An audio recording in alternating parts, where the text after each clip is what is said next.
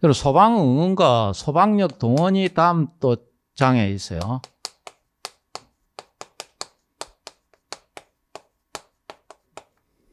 응원은 여러분 응할 원자에 도와줄 원자예요. 서로 도와준다는 뜻이겠죠. 행정 응원에 대해서 한번 여쭤보면은 동등한 행정기관 간에 특정한 업무에 대해서 특정한 업무에 대해서 도와주는 것입니다.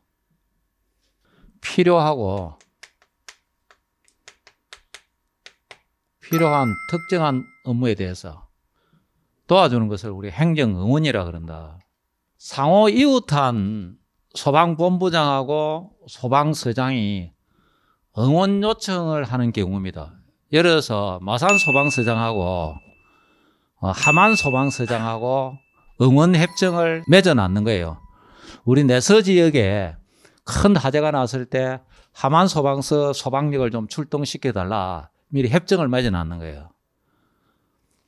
그 다음에 내서 지역에 창녕군하고도 경계를 마주보고 있잖아요, 그죠? 창녕군 소방서하고도 또 응원협정을 맺어놨는 이런 경우고. 주로 응원협정은 이렇게 제가 설명을 시군을 드렸지만은 시도를 경계를 합니다. 우리나라 지도가 이렇게 있을 때 우리 경상남도가 이렇게 있잖아요, 그죠? 대구가 있고, 그죠? 경북이 우리 거창은 경북하고도 이렇게 접하고 있거든요. 자, 여기 부산하고도 접하고 있죠, 그죠? 자, 이쪽에 하동하고 이쪽에는 전라남도하고도 접하고 있죠. 경북은 이렇게 되겠네요. 자, 이런 광역단체하고 사전에 응원 협정을 맺어주는 거예요. 부산, 대구, 경북, 전남하고 우리 지역에 상호 대응화재가 났을 때 소방력을 서로 왔다 갔다 하면서 도와주자라고 어, 계약을 맺어놓은 거예요. 동원은 움직일 동자에 이는 원자죠. 자, 소방청장이 소방청장이 서울에서 지금 강원도에 큰 산불이 났다. 전국적으로 소방력이 필요하다.